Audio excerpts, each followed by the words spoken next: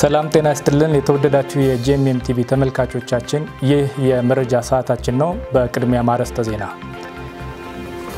ከሁለት መቶ በላይ የቤተ ክርስቲያን ፍቃድ በወሰዱ ተቋማት ላይ ካውንስሉ ፍቃድ የመሰረዝ እርምጃ ሊወስድ እንደሆነ ተሰምቷል። ከኢትዮጵያ ሙሉ ወንጌል ተቀዳሚ ነባር አገልጋዮች መሃል አንዱ የሆኑት ዶክተር መልሳቸው መስፍን ከዚህ ዓለም ሕይወት ማለፋቸው ተሰማ። የቫይታሚን ዲ እጥረት በጤና ላይ ስላለው ጉዳት ተዘገበ። የተወደዳችሁ የ GMM TV ተከታታዮቻችን ዜናዎችን ወደ እናንተ ይዤ የምቀርበው ዮናታን ዳዊት ነኝ። ወደ ዝርዝሩ እናልፋለን።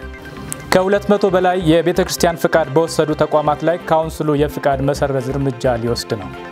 በኢትዮጵያ ወንጌል አማኞች አብያተ ክርስቲያናት ካውንስል ጽሕፈት ቤት ኃላፊ የሆኑት መጋቢ ጌቱ ለማ ለ GMM ቴሌቪዥን በሰጡት መግለጫ በርካታ የምስክር ወረቀት ከካውንስሉ የወሰዱ ቤተ ክርስቲያናት ሕግና ደንብን ጠብቀው እየሰሩ ባለመሆኑ እንዲስተካከሉ ብዙ ጥረት ሲደረግ እንደቆየ ተናግረዋል። ካውንስሉ በጣም በሕግም በቴዎሎጂውም በሁለቱም መንገድ አድርገው በሚገባ አንድም ቀን ሳያቋረጥ በሚገባ ይሰራል ያለው። ለዚህም ግብአት የሚሆን አንዳንዱ ድሮም ድረስ ፍቃድ ወስዶ በወንጌላውያን ስም የሚሰሩ ዝም ብሎ አሁን በየሸጡ በየስርጓጉጥ ውስጥ ሁሉ የተቀመጡ ግን ተቋማዊ ይዘት የሌላቸው አንዳንዱ ደግሞ ተቋማዊ ይዘትም ድሮ ኑሮት ደግሞ ወንጌልን በአግባቡ የማያገለግል የንግድ አይነት ይዘት ያላቸው ለገንዘብ መሰባሰብ ማሰባሰብ ብቻ የተቋቋመ የሚመስለውን እሱን በኃይል በድብደባ አይደለም የምታረመው፣ በህግ ነው። ተቋማቱ ሂሳባቸውን አያስመረምሩም፣ የተለያየ አሰራር ግድፈት አለባቸው። ሆኖም እንዲያስተካክሉና ሂሳባቸውንም በየዓመቱ አስመርምረው የእድሳት ወረቀት እንዲወስዱ ቢጠየቁም እምቢ በማለታቸው ከሁለት መቶ በላይ የሚደርሱትን የምስክር ወረቀት ለመሰብሰብ መወሰኑን ተናግሯል። አሁን ሁለት መቶ በላይ church discipline ሊደረግ ከዚህ ቀደም በማህበራዊ ሚዲያ ላይ ወጥቶ አሁን ደብዳቤ ተጽፎላቸው መምጣት ስላልቻሉ በቅርበት ለሚገኘው የመንግስት አካል ሰርተፍኬቱ እንዲመልሱ ተደርጓል። ከዚህም በላይ ምንም አይነት ፍቃድ ሳይኖራቸው forged የካውንስሉን ሰርቲፊኬት በማሰራትና በማጭበርበር የተሰማሩ መገኘታቸውንም መጋቢ ጌቱ ለ GMM ቴሌቪዥን ተናግረዋል። forged ሰርተፍኬት forged አሁን ያሉትን አመራሮች ፊርማ አመሳስለው በኮምፒውተር ላይ ሰርተፍኬት ሰርተው አሁን እዚህ ቡራዩ ላይ አሁን ቡራዩ ከታገዱ በኋላ ማለት ነው። no no no no እኛ የማናቃቸው ሁሉ አሁን አይ case ኦቹ case ኡ ይሄኛ መሸጥ ብቻ አይደለም፣ ያም ንግድ እኮ ነው። ያም በመጨረሻም ካውንስሉ ፍቃድ አሰጣጡን ለመመርመርና የቁጥጥር ስርዓቱን ለማዘመን ለጊዜው ለአዳዲስ ተቋማት የሚያደርገውን ምዝገባ ማቋረጡን ተናግረዋል። በተያያዘ ዜና በሪል ስቴት ስም በወንጌላውያን ቤተ ክርስቲያናት ስር ሆነው ከሚያጭበረብሩ ግለሰቦችና ተቋማት ሕዝቡ እንዲጠነቀቅ ካውንስሉ እየሰራ መሆኑ ተነገረ። ፓስተር ጌቱ ለማ ከጣቢያችን ጋር በነበራቸው ቆይታ በተለይ በንግድ ተግባር ላይ ተሰማርተው ሕዝበ ክርስቲያኑን እያጭበረበሩ ስላሉ ሪል ስቴትና መሰል ተቋማትን በተመለከተ ካውንስሉ እየሰራ መሆኑንም ተናግረዋል።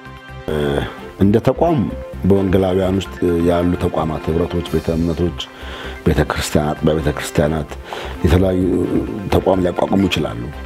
እዛ ላይ ስለሚታወቅ ለምሳሌ አንድ የገነት ቤተ ክርስቲያን ወይ ሕይወት ወይ የመካነ ኢየሱስ የሆነ ተቋም ማቋቋም ቢፈልጉ ተቋማቶቹ አሉ፣ ይታወቃሉ፣ ህጋዊ ሰውነት አላቸው።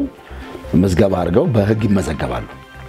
በህግ ተመዝግበው ስርዓት ባለው መንገድ ሊያካሄዱ ይችላሉ። አሁን በጣም የሚገርመው ፓስተር ከሌ ነቢይ ከሌ ሐዋርያ ከሌ የሚባል ሰው ያችን ስም ይጠቀምና ሪል ስቴት ይላል፣ ባንክ ይላል፣ የብድርና ቁጠባ ማህበር ይላል። ከዛ ሰው በቃ ይሄ ሰው መንፈሳዊ ሰው ነው ይልና ከሀገር ውስጥ ከውጭ ሀገር የሆነ design animation ይሰራል ቪዲዮ። ከዛ በኋላ ሰው በሙሉ ገንዘቡን ያስገባል ማለት ነው። ይመጣና እኛ ጋር ያለቅሳል። ለምን ሰጠህ ስንለው አይ ያው በመንግስት እኮ ተመዝግቧል። አሁን ሪል ስቴት ፍቃድ ካውንስል አይሰጥም። ብድርና ቁጠባም ባንክም ካውንስል አይሰጥም። ካውንስል የሚያውቀው ነገር የለም በዚህ ጉዳይ ላይ መስጠትም የለበትም። ቢያንስ ቢያንስ ግን ምክር መጠየቅ ይችላሉ። ይሄን ነገር ታውቃላችሁ ወይ ማለት። ሁለተኛ ቤተ እምነቶች ምዕመኖቻቸውን ከእንደዚህ አይነት ነገር መጠበቅ አለብን። በአሁኑ ወቅት በሪል ስቴት ብድርና ተቋም በሚል በቤተ ክርስቲያን ተገን አድርገው ገንዘብ እየሰበሰቡ ያሉ ተቋማትና አገልጋዮች ለሚሰበስቡት ገንዘብ ሕጋዊ ፍቃድ እንደሌላቸውና ሕዝቡም ለተከፈለው ሕጋዊ ደረሰኝ የማይቀበል መሆኑን ገልጸዋል።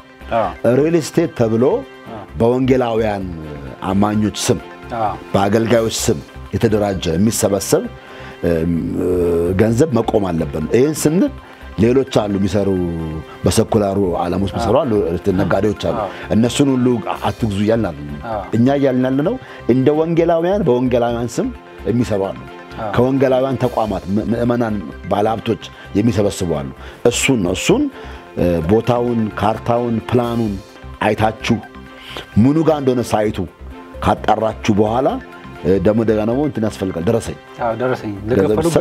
ያስፈልጋል። ነገ መጠየቅ ስለሚቻል።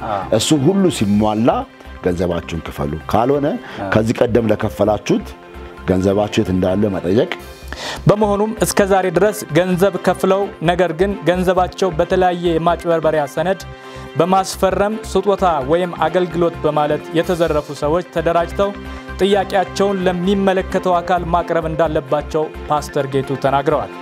ሪል ስቴት በወንጌላውያን ስም በአገልጋዮች ስም እንሸጣለን ግዙ እያሉ ማስታወቂያ ቢሰሩ ስዕል እያየ ህዝቡ ገንዘቡ እንዳይበላ አሁን ባለበት ማቆም አለበት። ከዚህ ቀደም ለከፈሉት ገንዘብ ሂደው ቦታው ጋር ደርሰው ካርታውን፣ ፕላኑን ምኑ ጋር እንደሆነ area ውም አይተው ሲያረጋግጡ ነው ገንዘብ መክፈል። ቤተ ክርስቲያን በቅድስና በእውነት የሚያገለግሉ ሰዎች ስብስብ በመሆኗ እንደነዚህ ሾልከው በመግባት የዋሃውን ክርስቲያን ማህበረሰብ በማታለል ጥፋት የሚፈጽሙትን ተከታትላ ከአካባቢዋ ማራቅ እንዳለባት የጄኤምኤም እምነት ነው። ተመልካቾቻችን ሙሉ ዝግጅቱን በጄኤምኤም ነፃ መድረክ ሰዓት ላይ እንድትከታተሉ ማሳሰብ እንወዳለን። ከኢትዮጵያ ሙሉ ወንጌል ቀዳሚ ነባር አገልጋይ መሃል አንዱ የሆኑት ዶክተር መልሳቸው መስፍን ከዚህ ዓለም ሕይወት ማለፋቸው ተሰማ። የቤተ ክርስቲያኒቱ ፕሬዝዳንት መጋቤ ላክሶ በዳሱ እንዳስታወቁት ዶክተር መልሳቸው መስፍን በሙሉ ወንጌል ቤተ ክርስቲያን ከነባርና ቀዳሚ አገልጋዮች አንዱ ሲሆኑ በሙላው ወንጌላውያን አብያተ ክርስቲያናት ዘመድ ጉልህ አስተዋጽኦ የነበራቸው ሰው ነበሩ።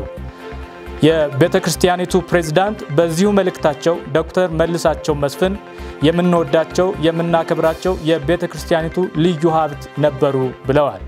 አያይዘውም ወደ ተዘጋጀላቸው ዘላለማዊ ቤታቸው ሂደዋል በማለት እግዚአብሔር ለሚያምኑትና በስሙ ለሚታዘዙት ያዘጋጀውን ዘላለማዊነት በማስታወስ ለቤተሰብና ሞላ ወዳጆቻቸው መጽናናት እንዲሆን ተናግረዋል። የተወደዳችሁ ተመልካቾቻችን መረጃዎችን ወደ እናንተ ማድረሱ እንደቀጠለ ነው። አሁን ደግሞ በሀገር ውስጥ ጤና ነክ የሆነን መረጃ ወደ እናንተ አደርሳለሁ። የቫይታሚን ዲ እጥረት በጤና ላይ ስላለው ጉዳት ተዘገበ። FBC ከአዲስ አበባ ዩኒቨርሲቲ ጤና ሳይንስ ኮሌጅ ያገኘውን መረጃ ጠቅሶ እንደዘገበው የቫይታሚን ዲ እጥረት ህጻናት፣ ወጣቶችንና አዛውንቶችን በጤና እክል ያጠቃል። ከእነዚህም የጤና እክሎች መሃል የወገብ፣ የነርቭ ህመም፣ የጡንቻ መዛልና መልፈስፈስ፣ የአንጎልና የአእምሮ ህመም እንዲሁም አልዛይመርና ድባቴን ጠቅሰዋል። እንደ ዜናው ገለጻ የአዲስ አበባ ነዋሪ ለቫይታሚን ዲ እጥረት የመጋለጥ እድሉ ከፍተኛ ሲሆን ይህም የፀሐይ ብርሃን ከመጠቀም ችግር ጋር በቀጥታ የተያያዘ መሆኑ ነው የተገለጸው። በዘገባው መሰረት ይህንን ችግር ለመከላከል የጠዋት ወይም የማታ ፀሐይ በሳምንት ለአራት ቀን ለግማሽ ሰዓት ያህል መሞቅ እንደሚገባም ተመክሯል። የፀሐይ ብርሃን ለሚያገኙ ሰዎች በምግብ ወይም በመድኃኒት ሊተካ እንደሚችልም ተጠቁሟል። ከሁለት መቶ በላይ የቤተ ክርስቲያን ፍቃድ በወሰዱ ተቋማት ላይ ካውንስሉ ፍቃድ የመሰረዝ እርምጃ ሊወስድ እንደሆነ ተሰምቷል። ከኢትዮጵያ ሙሉ ወንጌል ተቀዳሚ ነባር አገልጋዮች መሃል አንዱ የሆኑት ዶክተር መልሳቸው መስፍን ከዚህ ዓለም ሕይወት ማለፋቸው ተሰማ። የቫይታሚን ዲ እጥረት በጤና ላይ ስላለው ጉዳት ተዘገበ። የተወደዳችሁ የ GMM TV ተመልካቾቻችን ዜናዎችን ይዤ ወደ እናንተ ያደረስኩት ዮናታን ዳዊት ነበርኩኝ። እነዚህን መረጃዎች አዘጋጅተው ወደ እናንተ ያቀረቡላችሁ ተስፋዬ ካሳሁንና አለምሸት ሞገስ ነበሩ። ቀሪ የጄኤምኤም ፕሮግራሞች ይቀጥላሉ። ሰላም